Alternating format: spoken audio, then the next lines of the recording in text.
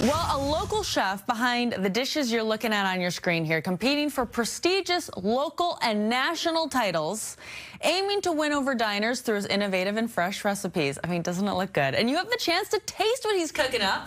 Mamnoon chef Nico Murratore joining me in studio this morning here. And we're going to plate up some dishes. We're going to talk about lamb jam. So thank you so much for being with us. Good morning. Thanks for having me. Absolutely. Excited to be here. Well, first of all, congratulations. I mean, thank this you. is local, national titles. Can you talk about this? Because I've never heard of, of lamb jam before. Absolutely. So uh, put on by the American Lamb Board. Uh, lamb Jam Restaurant Month is uh, running for the month of May throughout restaurants in five cities in the United States, but today we're talking about Seattle. So we have eight restaurants competing. Cool. Uh, I'm representing Mamnoon Restaurant on Capitol Hill, and we're going to plate our dish today. Major. Let's okay, let's plate the dish. Awesome. What is this right here? So we have a lamb shawarma croquette. So what we do is we braise lamb shoulder overnight, uh -huh. and then we press it the next day and let it cool in the fridge, uh -huh. and then we bread it and deep fry it. So it think of it like so a. Good. They smell good, right? It's like a lamb nugget almost. Um, that's what I think it's a nice way to describe it. Yeah. Uh, and so let's go ahead and plate them. All right. So on the bottom, we have a spring onion yogurt. Um, so this is a, uh, a, strained yogurt called Labne that we use in the restaurant. Uh, really kind of good it's for... It's so tasty. So good. Yeah. Uh, this one has a little bit of spring onion, some dried mint in there. So that's our base sauce, really creamy and delicious, kind of cuts through the fat of the lamb. Uh-huh. Uh, then we're going to put our lamb croquettes right on top of that. Gosh, that looks so good. And then sticking with the spring theme, we have a little pickled rhubarb relish. Um, so this is some pickled rhubarb, Fresno chilies, a little bit of mustard seed, and we're going to put that right on top. Again, a nice acidic punch to kind of break through some of that richness and this is your recipe. Yeah, this is my uh, this my creation. Awesome. Wow. We like to have fun with our food at Mamnoon. You oh, know, we do some traditional things, but yeah. also think outside the box. Uh-huh. Um, all right, so we're gonna go next with a little bit of our. This is a preserved lemon sauce. Uh-huh. So we take preserved lemons, some dried apricots, and we cook that down slowly, uh-huh. and then we puree it really finely. So we get this beautiful lemony, bright sauce. We're gonna dollop that on top as well. I love how colorful it is. I wish that y'all could smell it through the TV. It smells so good. we haven't figured that one out yet, but know, that's, right? that's, that's, that's got to be next. That's the million dollar uh, idea for sure. Now, what is this? So this is pomegranate molasses. Pomegranate uh -huh. molasses is a very important dish in, in Lebanese cuisine. Uh -huh. uh, and so it is basically cooked down pomegranate juice with a little bit of sugar and some salt. Uh -huh. Delicious, tangy, and works really well with lamb. Oh, uh, so we're just going to drizzle that on the other side. So we kind of got the two sauce going here. And people can come and get this? Absolutely. We have it through the month of May at oh. Mamnoon, available for dinner service. And then we're also going to probably feature it after that because people love it. I mean, They're really going crazy amazing. for this dish. Wow. We're to tear some herbs on top of there, a little bit of fresh parsley, mint, and Ooh, dill. Wow. And then basically that's it. This that is our. It look so pretty. Thank you. This is uh, we're really proud of this dish. Really excited to be a part of the competition, and uh,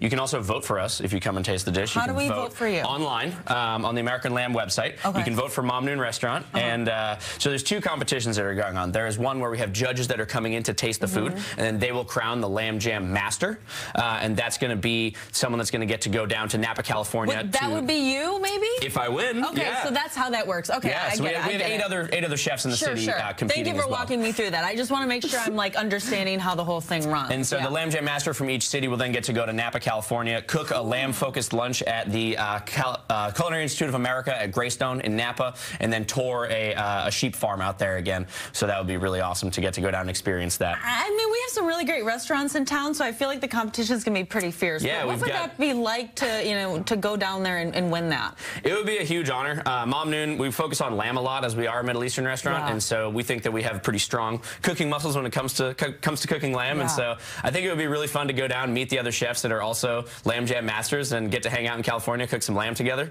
I mean, Lamb Jam is also such a fire name. It is. It's a, it's a good name. like, but what? Talk about some of the other restaurants being featured. Yeah, so we have Spinasse on Capitol Hill, oh, uh, Walrus and the Carpenter oh, over cool. in uh, Ballard. Yeah. We've got uh, Revel in Fremont. Oh, nice. Um, we've also got Ascend over in Bellevue oh, participating. Cool. Wow, you're like hitting every neighborhood. We've got Monsoon um, in, I guess, the backside of Capitol Hill. Yeah. So yeah, we've got a lot of lot of different restaurants participating and some really strong chefs. Eden Hill, Max Petty at, at Eden Hill. Um, so we have a so some big big names in the city. Oh my gosh! So and tough competition. You said you actually did this competition uh, in, when you worked in Boston. Is Correct. Yeah, when I was working with Commonwealth uh, back in Boston, we did it in 2019, and, and we won that one, which was super fun. I mean, so. there's so many great restaurants in town, and I know I mentioned that already. But like to have your name on this and to have the restaurant be featured like this, I mean, that's tough stuff. To just like create something so beautiful. I mean, how do you even start? How do you even figure that stuff out? Well, so you know, as I mentioned, that Mamnoon is kind of this mix of a modern Union of Middle Eastern Yeah. cuisines. And so while It's we do pay tasty. Uh-huh. homage to the traditional recipes with something like our hummus, our baba ganoush, uh, very traditional, something we'd be proud to serve in Lebanon. Mm-hmm. Uh, we also have some dishes on the menu that kind of are outside the box, such as this lamb dish, where this may, this should, excuse me, this dish may have never been done before, Mm-hmm. but it fits right on the table with the rest of the food at Mamnoon, and so it kind of creates that unique experience of kind of modern Middle Eastern cuisine. So people want to go, they want to try this out, they can Yep. do it right now. Mamnoon Restaurant on Capitol Hill. We're open seven days a week for dinner, so Oh, come wow. on by and check Nico, it out. Thank you so much. Appreciate it. Thank This you for having so me. tasty. Oh my God. Am I allowed to eat it or no? Absolutely. Oh, really? if you just want to pick it up, or you can I, use a I spoon. I can. I'm like, I'm like, it's so beautiful. I don't want to screw it up, but I really, I We made two, so get in there. I really do love lamb. Like I am, I'm, and I'm very hungry right now. I don't Go know. for it. Okay. oh wow, Nico, that's tasty. You said- Juicy, delicious. You said you braised that overnight? Yeah, so braised overnight, and then we reduce that jus down, and then we press them, kind of like a little terrine, Mm-hmm. You and then can bread them and fry it. You can taste it. I mean, Yeah. it- I, I mean, I've, I've never done lamb, but I feel like it, for me, it would be very easy for me to screw that up. I mean, that's delicious. This is not a dish you want to make at home. I think it's a little Yeah. bit too complicated. That is fabulous. It's so tender. I mean, did Yeah. you see? I mean, it's meat. I didn't even need a knife. I just cut right through that with a spoon. right with the spoon. That's beautiful. Thank you.